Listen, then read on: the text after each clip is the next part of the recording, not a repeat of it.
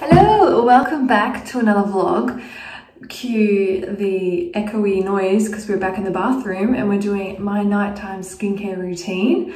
I thought it'd be nice just to do a chill one today, nothing stressful, just what I do on the daily. So I'm already in my cute little um, dressing gown that's blue with like little love hearts, which is cute. I've already had a shower, washed and blow dried my hair. And so this one is like four steps. It's so easy what I do. Um, what I've already done is wash my face and it's pretty much the same as the morning. Get all this hair out of the way. No, that's not cute. Is it gonna stay? I think we're gonna, it's gonna be okay. It'll be fine. But what I've already done is wash my face with my CeraVe uh, Hydrating Cleanser that I went over in my morning skincare routine. I'll link that in the bio if you wanted to check that out as well, because I'm not gonna go through that. Um, what I do next is, um, actually I'm going to, blah, blah, blah. I'm going to exfoliate my lips. I don't do this all the time, but I'm just feeling like my lips are feeling a bit funny. Um, not funny, but like scaly. So I'm using the, um, and I spoke about this already, the Frank Body Lip Scrub. I think I've shown you this again. All my steps are almost the exact same as my, every single one except one is the exact same as my morning skincare routine, except I cut out quite a few. So it like cuts down, but that's my lip scrub. So I'm gonna pop on there nice big bit.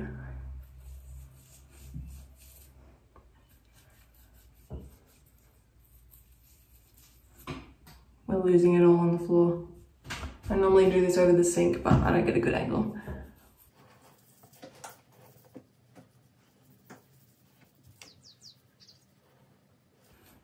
All right, let's wash that off. All right, lovely. I thought I should also tell you, I actually used the Frank body scrub when I was in the shower. I also, I use Frank on everything. I know that uh, coffee is meant to be, coffee scrubs are like good for your skin. So I like using them, highly recommend. What I'm gonna do next is moisturize my face. I use the exact same moisturizer I use for my morning skincare routine. I also need to apologize. I'm still on my phone. That's why the lighting is also not great. But anyway, I use the CeraVe Moisturizing Lotion. I've got it balancing on it at the moment. So um, yeah, I'll, I'll just, this bad, this bad boy right here, massive one. Now I'll pop it back. Ooh. So I'm gonna take one, pump that. I love this stuff. I want a moisturizer that is lightweight enough that I feel like it's actually doing something for my skin without feeling extremely heavy. I find some, like this is a nice balance between milky and creamy without being overly creamy and like heavy in your face and you go to bed like, oh, that was intense. But I'm just, the same as in the morning, I almost like drag it across my face and use it to smooth out my skin and get rid of, drain anything that might have built up across the day. But yeah, pretty chill. So that is that step. So I've moisturized my skin, I've exfoliated my lips, I've put on my face moisturizer. Next, I'm gonna be putting on my moisturizer on my eyes, which is just the Neutrogena Hydro Boost Water Gel that I've already spoken to you about as well and I use this. This is a really great dupe for, oh, what's it called? The Clinique Hydro Gel. It's like that pink one that I used to use. And I just, over time, I was like, surely there's something else that's cheaper that I could use. And it was this. Oh, my bags, wow. I'm very tired. This weekend's been very busy. But yeah, I'm only gonna take a tiny little dab of my gel. I'm just gonna sweep it across my eyelids. I'm gonna take another finger. I don't contaminate anything. Recently, I've been finding my eyelids are really dry and so I have to use, and I will show you, do I have it? Yes, I have it. Um, a doctor prescribed eye cream for eczema on the eyes and it makes my eyes like really water, but it really helps because I just get that so badly um, and obviously all my skincare stuff that I've found that work, works for me. obviously do your own due diligence, do, do your own research and everything. Um, I'm obviously not recommending anything for, for your skin, but just showing you like what I do and what you can look into yourself. Um, but yeah, I will show you this. What I have to use, which doctor prescribed, is the Elidel cream. I won't put any on right now because I want my um, skin care that I've just done to like settle and soak into my skin a bit. But that's what I put on my eyelids to get rid of this like dry flakiness. You can't see any right now. Oh, I have to tell you about my eyebrows. just going over them made me remember. But anyway, yeah, this is only medically prescribed. Um, but I do want to know what do you guys do if you get really dry eyelids? Like I even get it when I moisturize them, my eyes, especially after wearing makeup continuously. Like if I wear makeup for three days and have been taking it on and putting it back on, taking it off, my eyes will flare up and be like, too much. And I'm like, but I'm still, I still work and gotta go to work. But anyway, I want to know because that's how I have to deal with it and it can get makes my eyes all really red. You can see they like are a little bit red now with all their veins. Nothing I can do.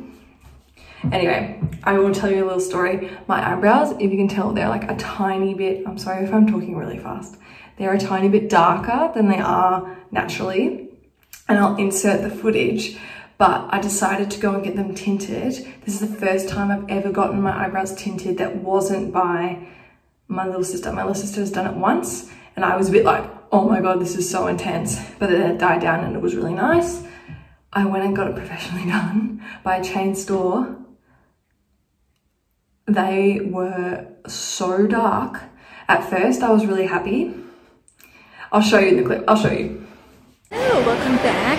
Now we're just gonna finish up with work and now I'm gonna go get my eyebrows done because they're looking pale. We're at the Melbourne Emporium. I'm gonna find my way. Cool.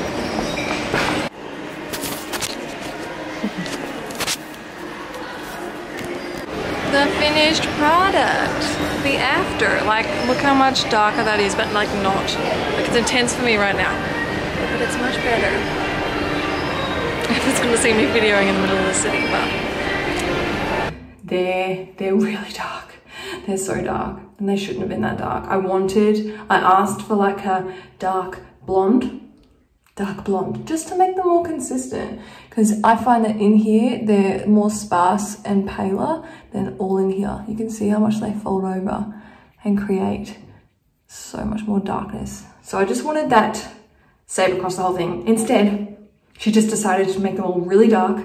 And I was like, at first I was like, oh, this is great. This is like what I wanted, blah, blah, blah, as I was leaving. And then 10 minutes later, I was walking down the street and I was looking in the windows I was like, they're just getting darker and darker and darker. And by the time I got home, I was in tears, like in tears. I can't explain to you how dark they were. And I did not want to make, take any footage of them because I was just so upset. And like we were scrubbing them, I had to scrub them with different like cleansers for two weeks, twice a day, just to get them to where they are now. And it's been probably two and a half weeks since I got them done. And they're still darker than they were naturally, but it was a stressful time. Stressful time. Anyway, I wanted to share that with you because like, oh, I was so excited, but never again. I need to get a eyebrow pencil and just live my life with filling, filling it in when I want to. Anyway, the next and last step, I told you this was so quick, what I do is really easy, is the Neutrogena Rapid Wrinkle Repair, Rapid Wrinkle Repair Cream. I use this one because this is a retinol SA. Um, I did a lot of research into this quite a while ago because I wanted to introduce retinol into my skincare as a form of obviously um, early wrinkle preventative methods, um, ensuring that collagen in my skin was like being produced and that skin cell turnover was really happening because you want to be able to, you know, live your life looking like you're 20 for as long as you can and uh, retinol is a definite way of that. Retinol also really helps for acne. Obviously, I don't, I'm very lucky that I don't suffer from acne, but if you do, definitely look into it and look into what suits you, but do seek um, professional advice. This is just based off my own research. And so I'm using this one. This is a very like I don't think it's called light retinol, but it's very, very mild, like doesn't like really do anything, but I really loved it because if you didn't notice, it's a cream, which we love. So I'm only using a pea size. Oh, that's definitely not a pea size. That'll do across my whole face. And we're gonna rub that in. This is also. This is also really moisturizing. It's great at reducing pore size and getting rid of all those, not getting rid of, but helping to prevent all those nasties that you don't want. And you definitely don't want it around your eyes because your eyes are extremely sensitive, especially for me.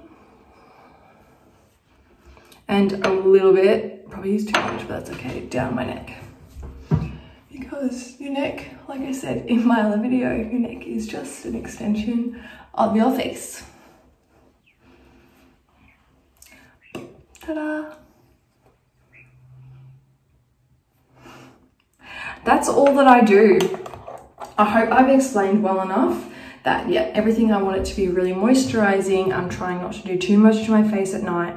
I do only do this one, the Neutrogena cream at night because I, uh, based off my own research, um, mixing it with other items like, I think it's AHAs, BHAs, um, different acid, other acids, um, vitamin C is not good. Also putting this on and then going out in sunlight, um, sunlight is um, deactivates it.